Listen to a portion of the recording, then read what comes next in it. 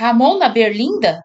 Torcedores do Corinthians pressionam e diretoria vai esperar fim do ano para avaliar.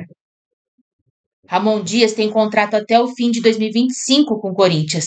A permanência até lá, no entanto, não está garantida.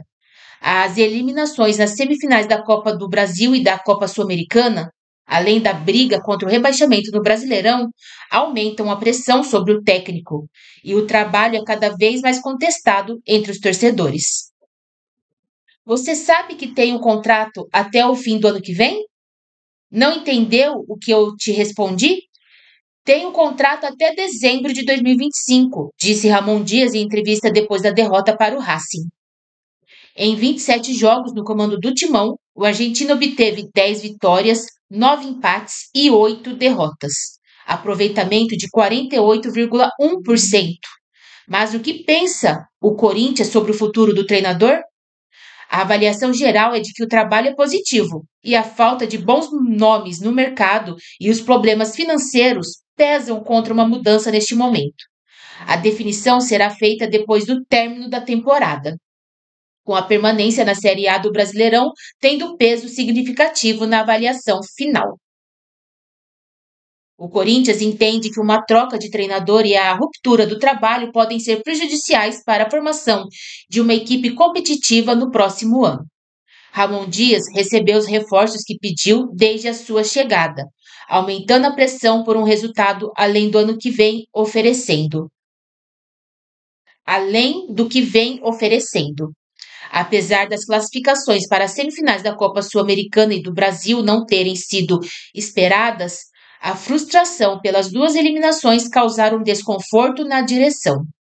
A avaliação é de que era possível avançar a final pelo menos um, em um dos torneios, e a conquista de um título premiaria a reformulação do elenco proposta pela atual gestão.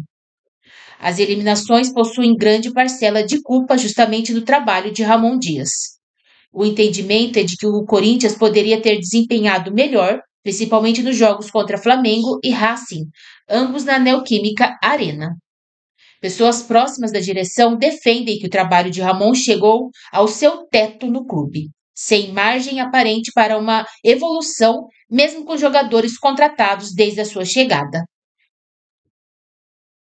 Outros dois pontos serão analisados pela direção alvinegra para definir a troca ou não de treinador em 2025 a falta de opções no mercado somada aos problemas financeiros para um possível aporte para a contratação de um grande nome.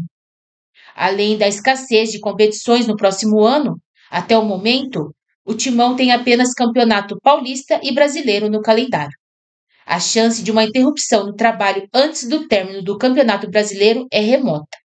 A direção entende que Ramon Dias segue sendo o nome mais capacitado para a missão de evitar que o Corinthians seja rebaixado no Campeonato Brasileiro. A grande dúvida é se o argentino tem o perfil para conduzir o time na próxima temporada diante das incertezas sobre o calendário, finanças e manutenção do elenco. O próximo desafio será na segunda-feira contra o rival Palmeiras, às 20 horas, na Neoquímica Arena.